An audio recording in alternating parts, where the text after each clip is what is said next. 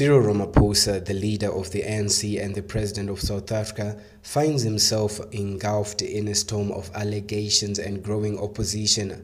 Accused of wielding his power as a dictator, Ramaphosa's tenure has been marred by controversy and accusations of manipulating state institutions for personal gain. One of his staunch adversaries, Carl Niehaus, is poised to expose Ramaphosa's alleged misconduct, potentially leading to his resignation before his term concludes. As the pressure intensifies, Ramaphosa and his allies must brace themselves for a formidable challenge both legally and politically. Ramaphosa has faced repeated allegations of exploiting his position of power within the ANC and the country to exact control over his cabinet. Critics argue that his leadership style borders, borders on authoritarianism, displaying little concern for democratic principles. The Phala scandal in particular shed light on his alleged use of presidential authority to quash legal proceedings, raising concerns about the erosion of justice.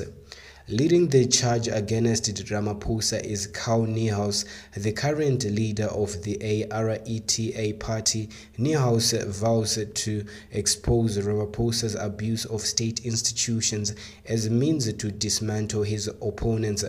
Through legal avenues and media platforms, Niehaus aims to shed light on Ramaphosa's alleged misconduct and advocate for countermeasures to restore transparency and accountability.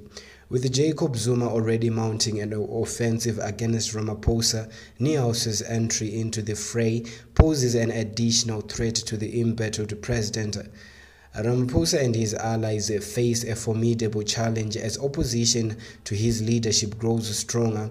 The concerted efforts of his adversaries, combined with mounting accusations and public discontent, place his political future in jeopardy.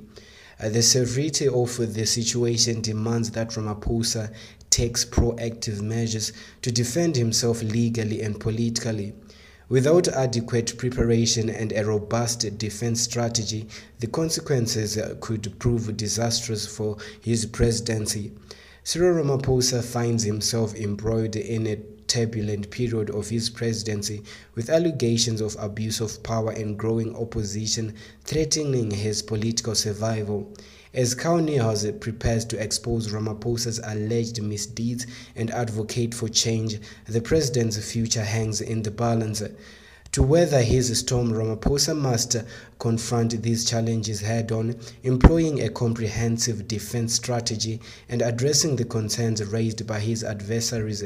The outcome of this battle will shape not only Ramaphosa's legacy but also the future of South African politics.